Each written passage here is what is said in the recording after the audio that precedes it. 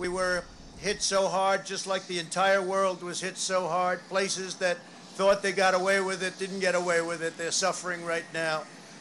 We did something that is uh, really considered a medical miracle. They're calling it a miracle, and that was the vaccine. We got the vaccine developed in nine months instead of nine years, or five years, or ten years, or a long time. It was supposed to take a long time, many, many years to develop a vaccine. We have two out.